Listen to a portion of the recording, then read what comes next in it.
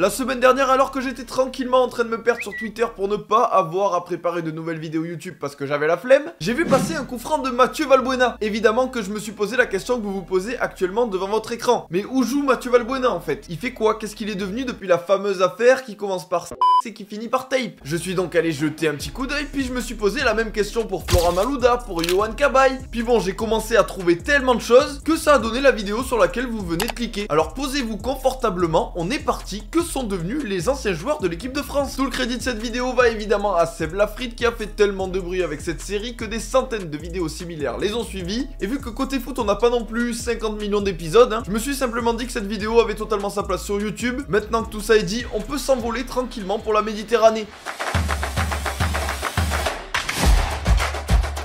Mathieu Valbuena, petit vélo, 52 sélections quand même en équipe de France, c'est pas rien. Le tout entre 2010 et 2015, hein. après on sait malheureusement pourquoi il n'est plus jamais revenu. Aux dernières nouvelles, il était au spectacle de danse de sa fille et il a filmé la salle parce qu'il y avait une petite musique qui est passée en fond.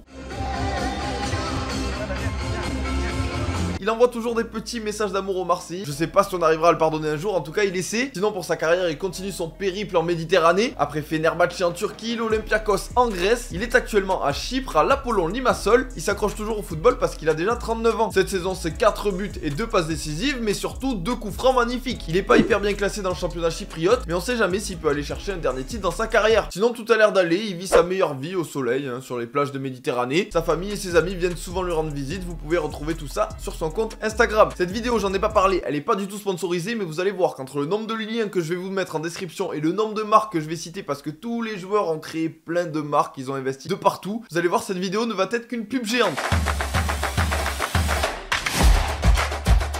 Lassana Diarra, Las comme on l'appelle dans le milieu. 34 sélections, 38 ans aujourd'hui et une sacrée carrière. Hein. À 25 ans, il avait déjà joué pour Chelsea, le Real Madrid et Arsenal. Mais allez savoir pourquoi, il n'a jamais réussi à se poser véritablement dans un club. Il a fait que enchaîner, enchaîner, enchaîner. Il est jamais trop resté quelque part hein, jusqu'à atterrir à l'OM en 2015 où il m'a traumatisé. L'année qu'il fait à Marseille, son but contre 3, le fait qu'il ait porté à lui seul une équipe pendant toute la saison, c'était fou. C'était le joueur qu'on aimait dans un OM catastrophique. On finit 13ème cette saison-là. Et après, bon, il a signé au PSG et on l'a plus revu. Il quitte la capitale en 2019, il n'a jamais retrouvé de club par la suite et il a donc mis un terme à sa carrière à 34 ans. Mais qu'a-t-il fait de ces 4 dernières années? C'est devenu un businessman et ça va pas être le seul, vous allez voir. Juste avant de raccrocher les crampons, il avait déjà créé une marque. Heroic Life, une nouvelle boisson énergisante. Depuis, bah, il a pas mal développé. C'est produit en France, aux alentours de Cholet. Ça se vend dans notre pays, mais pas seulement, parce qu'aux États-Unis, ça se développe pas mal. D'ailleurs, il va souvent là-bas. Plusieurs sportifs en sont ambassadeurs, comme Karl Toko Ikambi, Yassine Adli, Kim Pembe, Rabiot. Ils ont quand même réussi à collaborer avec la NBA. À côté de ça, les collaborations avec Montpellier, West Ham, c'est un petit peu moins bien. Et y a pas que le foot qui s'intéresse à Heroic Life, c'est aussi le partenaire du stade français. Et sa boisson, elle est là pour prôner le dépassement de soi, le sens du partage, le fait que tous les rêves sont accessibles, comme l'exprime le slogan Never Stop Dreaming. Voilà pour l'ancien numéro 10 du Real.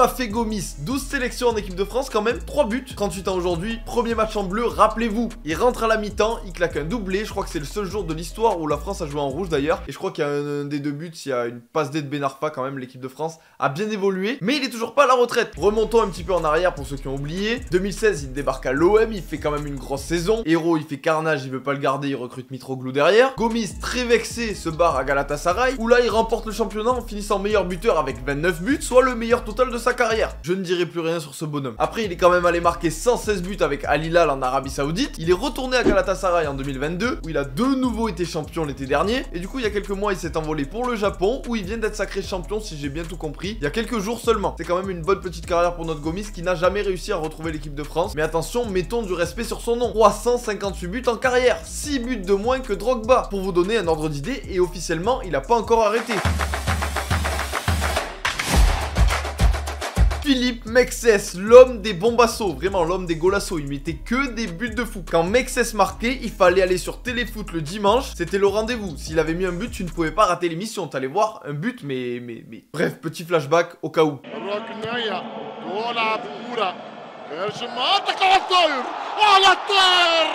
Bellissimo goal 29 sélections en équipe de France entre 2002 et 2012. Je savais même pas qu'il avait commencé aussitôt. C'était lui entre 2010 et 2012 quand il y a eu la petite reconstruction de l'équipe de France. Là, il était avec Adil Rami en défense centrale. Et aujourd'hui, bah, il est plus du tout dans le foot. Il est revenu s'installer en France, pas loin de la maison de ses parents, pour élever ses trois enfants tranquillement. On lui a pas mal proposé le rôle de consultant, mais il a toujours refusé, expliquant, je cite, qu'il n'aime pas juger les autres. A priori, il a affirmé le désir de vouloir se lancer dans un projet en dehors du football, même si à l'heure actuelle, il n'y a rien qui a fuité. Peut-être il a déjà commencé. En tout cas, j'ai pas les informations. Il est pas mal actif quand même sur Instagram si ça vous intéresse. On peut le voir tomber euh, sur la caméra de surveillance de son jardin, ou même faire des photos avec David Beckham parce que oui, quand même, il va voir des matchs de foot de temps en temps, ou même se faire courser par une poule. Bref, il a l'air de vivre quand même une bonne vie de papa. Il a l'air très heureux, mais le football te rattrape toujours. Sa fille, Eva Mexes, 14 ans, évolue en U15 chez les Girondins de Bordeaux, donc il n'est pas non plus sorti totalement de ce circuit.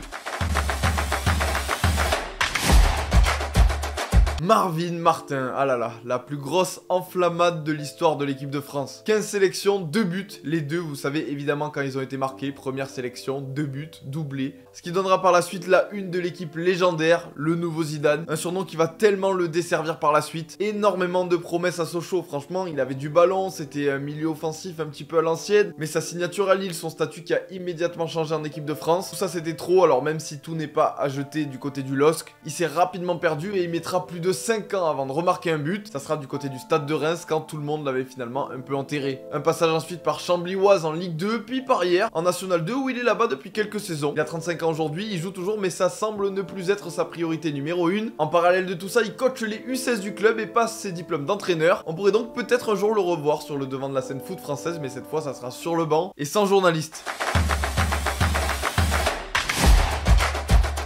On attaque un dossier qui est peut-être un petit peu plus connu, en même temps on parle de Barthez, hein. un de mes joueurs avec lequel j'ai grandi, un de mes joueurs préférés personnellement. Je pense que c'est le gardien préféré de pas mal de gens devant cette vidéo. Et vu qu'il est un petit peu plus ancien que les autres, depuis sa retraite à Nantes en 2007, il en a fait des choses. Pas mal de passages en tant que consultant, ambassadeur par-ci, par-là. Le tout toujours autour du sport, mais pas seulement du foot. C'est devenu un pilote automobile. Il a participé à pas mal de courses, dont les 24 heures du Mans, et il continue toujours aujourd'hui. Hein. Enfin, aux dernières nouvelles sur son Instagram. J'aimerais pouvoir vous en dire beaucoup plus, mais je ne connais absolument rien au sport automobile. Côté foot, il est passé par le staff des Bleus, il a récupéré la direction d'un club, le Luznac Ariège-Pyrénées. D'ailleurs, sous sa direction, il avait réussi à faire monter le club en Ligue 2, ce qui a l'air d'être une bonne performance a priori. C'était en 2013, sauf que la DNCG a refusé leur montée, visiblement parce que le stade n'était pas conforme, ce qui semble quand même un petit peu abusé. Barthez et la direction avaient proposé de rénover le stade, hein, ce qui peut paraître assez intelligent, ou même d'aller jouer dans un autre stade, mais a priori la Ligue ne leur a jamais répondu. Ce qui a engendré la démission de Barthez et surtout la dissolution de l'équipe première pour un club qui aurait dû normalement jouer en Ligue 2, un petit peu abusé. Cet événement là peut-être un petit peu écœuré du foot. Son dernier job dans le foot c'était dans le staff du TFC en 2020-2021. Et sinon il participe quand même un petit peu à la vie du rugby. Vu que son père était rugbyman professionnel, il est plutôt attaché à tout ça. Il est socio de Narbonne et joue de temps en temps, tout en faisant aussi du VTT un petit peu partout en France avec ses potes. La belle vie, du sport, des projets, franchement il a l'air plutôt bien notre Fabien.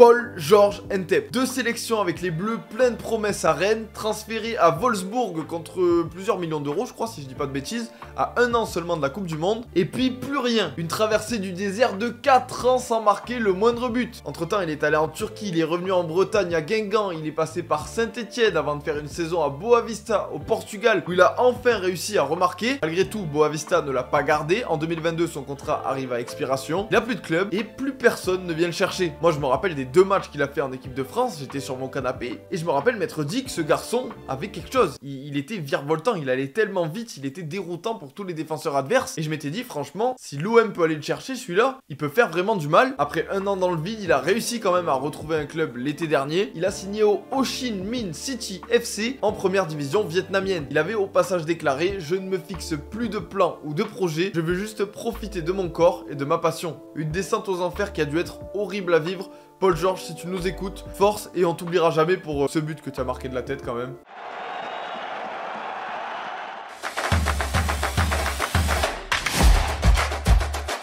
Un autre joueur dans le même style qu'on a totalement perdu de vue, Mapou Yanga Mbiwa. Seulement 4 petites sélections à partir de 2012. Lui qui venait d'être champion à Montpellier, qui était passé par Newcastle, par la Roma, par Lyon. Comment ce joueur qui était quand même plutôt talentueux a réussi à se perdre à ce point? Ça reste quand même un mystère. À Lyon, il a commencé par faire ses matchs, il avait même sa chanson dans les tribunes.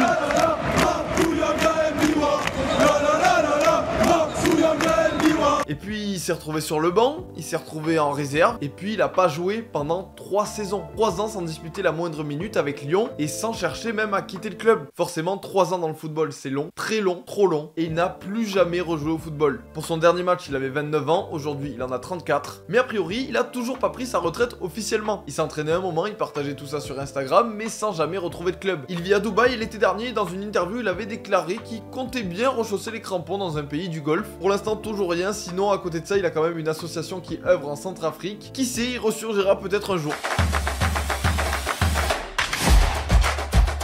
Bakary Sagna, 65 sélections avec l'équipe de France, c'est énorme. Latéral droit des Bleus pendant des années, au CR Arsenal, Manchester City, Benevento, un an avant un petit dernier kiff en 2019 à Montréal. Là-bas, à l'issue de sa saison, il est élu meilleur défenseur de l'année. Aucune raison d'arrêter, il rentre en Europe et il reçoit un SMS qui lui dit que en fait, euh, bah non, on compte plus sur toi mec. Pourquoi? A priori, même lui ne le sait pas, hein. ça coïncide juste avec le moment où Montréal a changé d'entraîneur et avec l'arrivée de Thierry Henry. Après cette désillusion, il a été forcé de prendre sa retraite à 36 ans. Et depuis, il fait des sacs à dos. Il a investi 250 000 euros dans une marque de sacs à dos de randonnée, Gravipack, dont l'objectif est de soulager le mal de dos. Je trouve ça dingue, je suis dégoûté de pas avoir croisé un sac à dos comme ça, parce que si vous en voyez un du coup dans la rue, vous allez savoir que c'est les sacs à dos de Bakary Sanya. Sinon, il vit aussi à Dubaï, il s'entretient, il fait du sport tous les jours. Il est même coach chez Bowler Dubaï, une académie pour les sportifs de haut niveau. Il donne aussi des conférences, c'est l'ambassadeur de Footballer for Peace. Et il a aussi investi dans une application, là, un genre de TikTok, mais pour le sport. Ça s'appelle Duo App, si j'ai bien compris. Mais ça a l'air de moins marcher quand même que ses sacs à dos.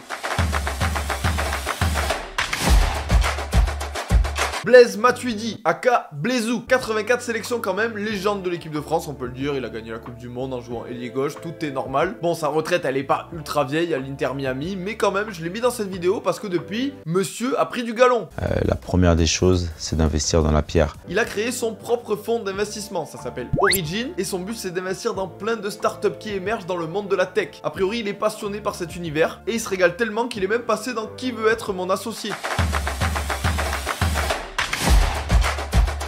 Sylvain Wiltord, alors là vraiment vous mentez si vous avez eu des nouvelles de Sylvain Wiltord. 92 sélections, l'homme de la finale de l'Euro 2000, 26 buts en équipe de France. Peut-être que vous l'avez croisé en tant que consultant du MAC sur TF1. Sinon depuis sa retraite, pas trop trop de nouvelles. Sylvain Wiltord a été champion de France de tennis. Cette info, personne ne l'a. Bon c'était un championnat par équipe de plus de 45 ans, mais attention, gros niveau quand même. Ça fait aussi 8 ans qu'il est ambassadeur du Stade Rennais, hein, son club. Et le seul truc qui est bête, c'est qu'il a eu une grosse blessure au poignet et qu'il peut plus jouer au tennis. Sauf que quand t'es accro au sport et que t'adores les sports de raquettes, ben tu tu te mets au padel comme la plupart des footballeurs. Il se régale, il joue avec ses potes, il joue avec des anciens joueurs de l'équipe de France. Il est même devenu prof de padel. Il y a eu un reportage sur lui sur France 2. Eliakim Mangala, 8 sélections avec l'équipe de France. Lui qui était devenu le défenseur le plus cher de l'histoire, lui qui faisait partie de la liste de Deschamps pour l'Euro 2016. Il a jamais eu le destin que tout le monde lui prévoyait. Des prêts à Valence, à Everton, un transfert à Valence sans jamais s'imposer finalement quelque part. En janvier 2022, on avait eu un petit peu de ses nouvelles, il avait signé à Saint-Etienne pour 6 mois. Bon, ça s'est pas trop bien passé, hein. le club est descendu en Ligue 2 à l'issue de la saison, forcément ils l'ont pas conservé. Après ça, impossible de retrouver un club alors qu'il avait que 30 ans. Heureusement, comme Entep, il a réussi à rebondir cet été. Il est retourné là où tout lui avait pourtant réussi, au Portugal, à l'Estoril Praia, pour jouer le maintien. Ça a bien démarré, il a même mis un but, sauf que bah, il est rattrapé par, par trop de choses, il s'est blessé et là il vient à peine de revenir à l'heure où je vous parle. Mais il vient de rater 3 mois de compétition, est-ce qu'il aura toujours la force et l'amour pour continuer de jouer au foot? On verra bien, mais vu qu'il a eu du temps, il s'est quand même un petit peu préparé à l'après-carrière. Il a fondé avec deux autres personnes The Green Changer Club. La plupart sont d'anciens sportifs et ils vont te donner des conseils de nutrition, de mental. Le tout lié à un délire de métaverse et de NFT à acheter. Là, à ce moment-là, j'ai plutôt compris. Alors, j'ai essayé de rejoindre le club, je pouvais pas, mais vu que c'est assez récent, j'imagine que ça a pas encore été lancé. Pour le moment, en tout cas, ils font des podcasts sur YouTube et sur Spotify. C'est assez intéressant. En plus, ils ont eu quelques invités sympas. Donc, je vous mets les liens en description si vous voulez aller écouter. Franchement, j'ai écouté un petit peu. C'est bien. Ça s'écoute très bien. Ils parlent de plein de sujets, ils ont des invités foot. Affaire à suivre.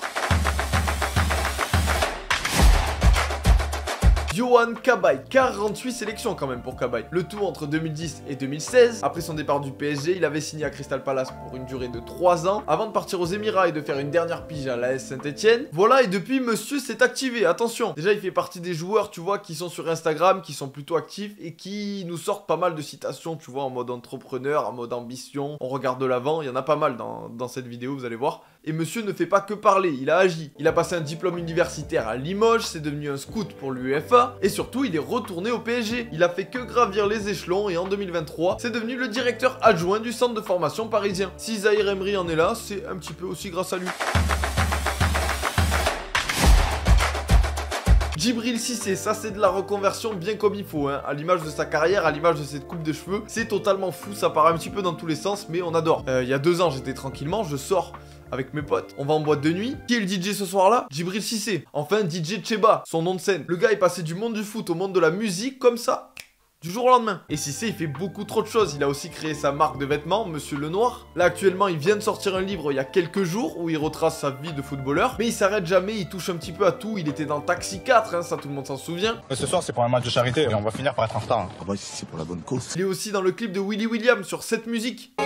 Dis-moi qui est le plus beau. Il a fait la saison 6 de Danse avec les stars. Il a fait le meilleur pâtissier. Il a fait la saison 2 de Mask Singer sur TF1. Tout ça sans jamais avoir vraiment lâché le foot. Hein. Il a toujours continué à suivre un petit peu de près ou de loin, et en ce moment c'est de près. En 2022 déjà c'était devenu un joueur de futsal, il avait signé au FC Borgo en Corse, il avait participé à un petit tournoi, il termine meilleur buteur avec 9 buts en seulement 3 matchs, il a pas trop trop perdu ça va, mais surtout 19 ans après, l'été dernier, il est de retour à la JOCR. Je crois que c'est l'entraîneur des attaquants de l'effectif pro actuellement, et aussi de l'effectif réserve. C'est plutôt une belle histoire, hein. moi je sais pas ce que vous en pensez, j'aime bien cette reconversion. Ah oui, en plus des DJ aussi, il a produit quelques musiques, et cette musique là que vous allez entendre, c'est de lui.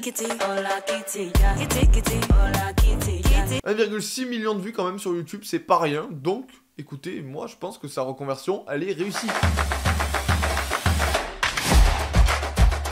Laurent Koscielny, 51 sélections en bleu, pilier de l'équipe de France pendant des années, blessé malheureusement en 2018, pas récompensé pour tout ça. Auteur quand même de cette vidéo, un coup du foulard magnifique euh, en l'échauffement, le jour où je me suis vraiment rendu compte que entre ce que je faisais sur un terrain de foot et un joueur professionnel, l'écart vraiment il, était immense, il rentre même pas dans, le cas de cette vidéo. Sa fin de carrière, je pense qu'il va pouvoir l'oublier euh, plutôt facilement, hein. ça sert pas trop à grand chose qu'on en parle, il a fini au Girondin de Bordeaux. Voilà, vous avez qu'à regarder l'état des Girondins de Bordeaux aujourd'hui, vous allez comprendre pourquoi euh, ils ont essayé de le mettre dehors euh, sans le mettre dehors, voilà. A priori pour un problème de comportement, comme qui dirait des petits doutes, hein. En échange, ils ont essayé de déguiser tout ça en le mettant ambassadeur du club, bon il est pas resté trop longtemps. Après ça, il a fait quelques petites missions avec Canal+, en tant que consultant pour la première ligue. Et puis il en a eu marre, il voulait s'offrir du renouveau, il a pris sa femme, ses enfants, il est parti en Bretagne, il a acheté une maison et il a signé au FC Lorient. C'est actuellement l'entraîneur adjoint des U17 de Lorient. Franchement, reconversion assez fraîche, mais pour l'instant c'est du 10 sur 10. Loïc Rémy, 30 sélections en équipe de France quand même, c'est pas rien. Attaquant du LOSC il y a pas si longtemps que ça, et depuis, ben, on l'a un petit peu perdu de vue quand même. Il est passé par deux clubs turcs et a fini à Brest l'hiver dernier, avec qui il ne jouera malheureusement jamais. Il a signé il y a quelques jours avec France Télévisions en tant que commentateur. C'est lui qui sera consultant notamment sur le match Lens-Monaco en 32e de finale de la Coupe de France. Sinon, il est sur Memo, le site où tu peux recevoir un message personnalisé de la part de Loïc Rémy pour ton anniversaire si tu veux, par exemple. Jérémy Toulalan, un des joueurs où j'ai le plus galéré à trouver des nouvelles parce que bah il y en a pas. Retraité en 2018 à Bordeaux après une longue carrière où il est quand même monté très haut, c'était un très bon milieu de terrain défensif. 36 sélections en bleu, milieu titulaire de la France à la Coupe du Monde 2010. Une Coupe du Monde qui va changer totalement sa vie, sa carrière, tout ce que vous voulez. Après ça, il voudra plus jamais jouer pour l'équipe de France, ça l'a traumatisé. Il sera donc plus appelé et depuis sa retraite, euh, il s'est totalement retiré du milieu du foot. Et les seules nouvelles qu'on a, ce sont celles qui ont été rapportées dans l'émission de Jérôme Roten sur RMC. Alors je vais vous lire le passage, ça sera plus rapide. Jérémy vient de fêter ses 40 ans. C'est un garçon qui était content de quitter le milieu du foot, à tel point que 5 ans après la fin de sa carrière, il regarde très peu de matchs, d'après certains de ses proches. Il recommence à parler un petit peu du foot. Il a investi dans l'immobilier, il gère ses affaires et surtout il s'occupe de sa famille. Il est papa de 4 enfants, il vit dans le sud de Nantes, dans une petite commune, avec deux garçons et deux filles. Il a un petit dernier qui est gaucher, qui joue au foot, donc il commence à aller du côté des terrains. On le retrouve derrière les balustrades, il continue à s'entretenir, mais jamais avec un ballon. Ne joue plus au foot, il joue plutôt au paddle, décidément, avec certains anciens coéquipiers nantais.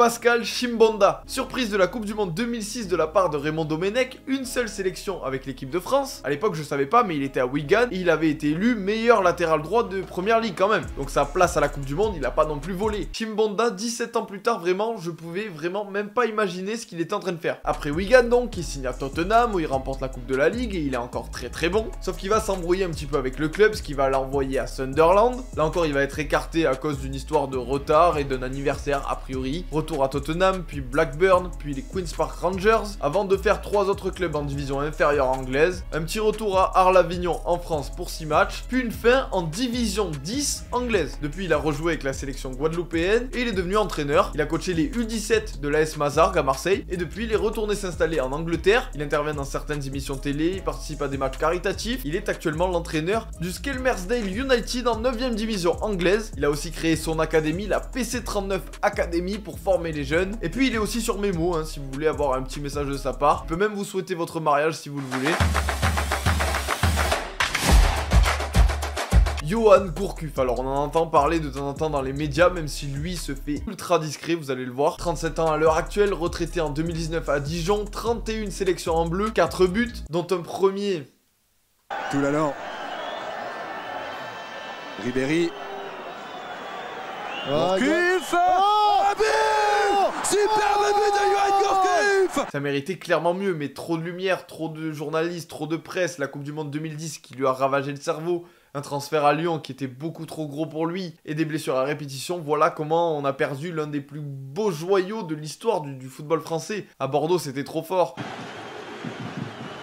Une fois. Oh Exceptionnel Il arrive en équipe de France, c'était trop fort, et puis tout s'est éparpillé finalement assez rapidement. Lui aussi était extrêmement content de quitter le milieu du foot, ça lui a pas du tout plu. Il est passé du côté du tennis, où il a clairement un bon petit niveau. Il fait quelques tournois, il fait du VTT avec ses amis, mais son activité principale, c'est d'être papa. Je m'occupe de mes deux enfants, ma femme se rendant régulièrement à Paris pour son travail. Cela prend du temps et demande de l'organisation. Je balade aussi mes deux chiennes tous les jours pendant une heure minimum, peu importe le temps, quand les enfants sont à l'école, c'est apaisant, je me régale. Je n'ai aucun souci à dire que je suis père au foyer, les journées sont bien remplies, mais voir mes enfants grandir chaque jour, c'est un privilège. Voilà, il a l'air hyper épanoui, il est très heureux, il est tranquille, il n'y a pas les journalistes qui viennent lui casser les couilles tous les jours. Il est évidemment marié à Karine Ferry, qui elle est pas mal présente sur les réseaux sociaux. Et si vous allez jeter un coup d'œil sur son compte Instagram, vous verrez que ben on peut apercevoir des parties du corps de Johan Gourcuff, mais jamais Johan Gourcuff. C'est-à-dire que même sur le compte de sa femme, il veut même pas être exposé, ça l'a tellement écœuré tout ça, que en fait il est discret partout. Et même dans son club de tennis, c'est tellement connu que personne n'ose venir le déranger. Il a la tranquillité qu'il a toujours rêvé d'avoir. Et voilà, ça devait finir comme ça. Ça finit bien après tellement d'années de galère. Bon les amis, j'espère que cette vidéo vous a plu. Si c'est le cas, n'hésitez pas à vous, abonner, vous mettez un petit like. Puis moi, je me, je me remets à mes recherches. J'ai déjà le nom de la prochaine vidéo. Alors, bah, soyez au rendez-vous. Voilà, c'est tout pour moi. Portez-vous bien et puis à très vite. Ciao